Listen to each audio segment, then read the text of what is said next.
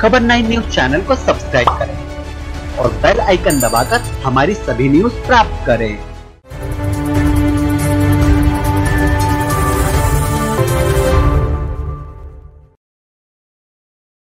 नमस्कार आप देख रहे हैं खबर नाइन और मैं हूँ आपके साथ प्रीति शर्मा। पेटलावत आंचल में शुक्रवार को हुई बेमौसम बारिश एवं ओलावृष्टि को लेकर वहाँ के किसानों की फ़सलों को काफ़ी नुकसान पहुँचा है।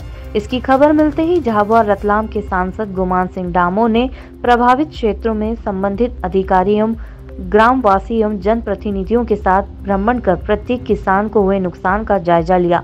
सांसद गुमान सिंह डामोर का कहना है कि शुक्रवार रात को हुई ओलावृष्टि से किसान भाइयों को काफ़ी नुकसान हुआ है। क्षेत्र में कई स्थानों पर भ्रमण कर किसानों से व्यक्तिगत भेंट की और उनके खेतों में हुए नुकसान का जायजा भी लिया। श्री डामोर के साथ भाजपा जिला महामंत्री कृष्णपाल सिंह गंगा खेड़ी मंडल अध्यक्ष सुखराम मौरी के अलावा अनुविभागीय अधिकारी राजस्व शिशिर गेमावत नया तहसीलदार सारंगी एवं पटवारी सहित बड़ी संख्या में ग्रामीण जन उपस्थित रहे। संबंधित अधिकारियों को आवश्यक निर्देश के साथ ही ग्रामीणों को आश्वस्त किया। पाड़ा क्रम दो हाँ, रूपा पाड़ा। पास में। हाँ।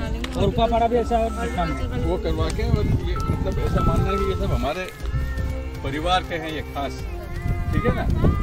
तो इनको भी ये लगना चाहिए कि सरकार इनके साथ है हमारे देश के प्रधानमंत्री इनके साथ है हमारे प्रदेश के मुख्यमंत्री इनके साथ है और इनका सांसद भी इनके साथ है। और इनको मिलना चाहिए ऐसा एहसास भी होना चाहिए।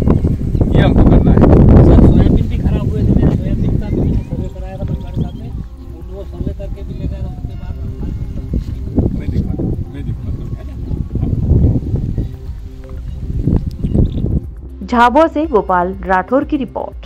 फ़िलहाल इतना ही, आज के लिए बने रहिए हमारे साथ खबर नाइन में।